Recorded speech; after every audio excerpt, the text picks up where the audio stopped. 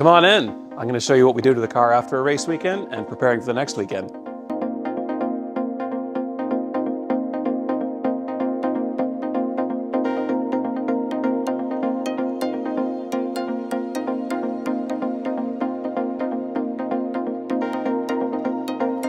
So we were just at VIR, as you guys all know. We're heading to Shannonville for a Lucky Dog event.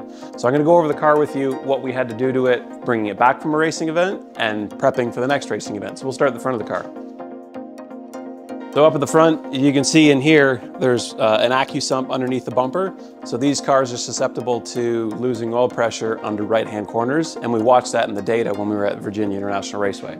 So we've installed an AccuSump that will help resolve that issue and supply pressure to the engine when the oil pressure drops. So we've done that this weekend. That's hiding in behind the bumper. Uh, a couple of the splitter rods had a couple marks on them and were damaged from a couple of offs, so we've replaced all those. We've checked oil, changed the oil as well after a 16 hour event. Um, also, we checked the front brakes, rear brakes. We ended up putting new rotors on the front, uh, new pads on the rear. And then on the inside of the car, I'll show you what we're doing. So on the inside, we're just redoing some of the wiring. We're cleaning it up because we added a bunch of accessories or cameras, uh, voltage regulator for the PC that we have in it now. So we're just cleaning up some wiring. Uh, we now have a PC in the back corner here that is gonna be connected to the cameras and that will tie in our live streaming to the data from the RaceCapture and overlay it. So as you guys watch the videos, all the data and video is all synced up together. So you can watch us live and see when the braking zones are, acceleration, all the G-forces we're feeling. It'll be a really nice feature. So we're gonna do this in the gas car and also in the SCR1 so you can see it all live. In the back, the back we have a lot going on in here. We've added a fuel cell um, to the back as long as with an ECU Master PDU. Um, we found that the factory GR86 car, this gas tank is pretty small. It's only 45 liters, um, which is about 10 gallons. So not very much. It only lasted about an hour, hour and 20 minutes, depending on how hard on the car you were. So we've added an auxiliary tank in the back here in the spare tire well, another 10 and a half gallon tank. So we're having a PDU control when this tank fills the main tank um, that way, when we're driving, we can be out for the two hour stint for Lucky Dog this weekend. AER wasn't too bad because it was only uh, an hour and 20 minutes that we came in. We had to have six drivers because we needed five mandatory stops. So it was about an hour and 20 minutes. So the factory fuel tank actually worked okay. But for Lucky Dog, we only have four drivers for an eight hour race, so two hours each time. We needed this car to stay out there for two hours.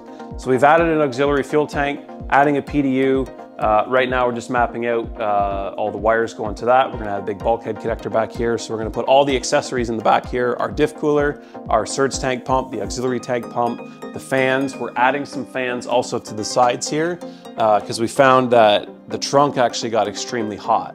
So we're gonna add some venting into the back here to keep some airflow going through it. Also now that we're filling a tank back here, it's just good to have ventilation when you have another tank on the inside of the, of the car. Let's come over to the driver's side and see what Grant's doing. So Grant here is setting up all the overlay data with the mini PC. Uh, like I said before, this is our gas car. Um, we'll also be doing the same setup in the SCR when we race it uh, in a couple weeks. And you'll see that. Also, the GPS antenna that we had was not super strong, so we've added a larger antenna on the back of the car for our Cradlepoint, uh, and for the uh, RaceCapture GPS, that way we have stronger signals uh, to better supply a stream for the car. We will be taking the transmission out, just inspecting the clutch, making sure that's okay, changing all the fluids, um, diff, transmission, clutch, brake, basically refreshing the car because after 16 hours of hard driving, it pretty much needs to be all refreshed.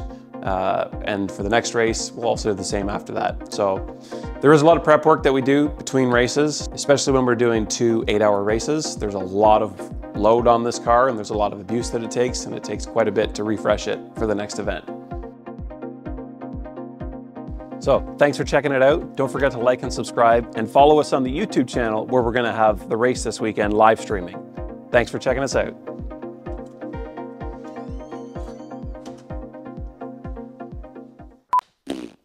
I drew a blank. And yeah, we're just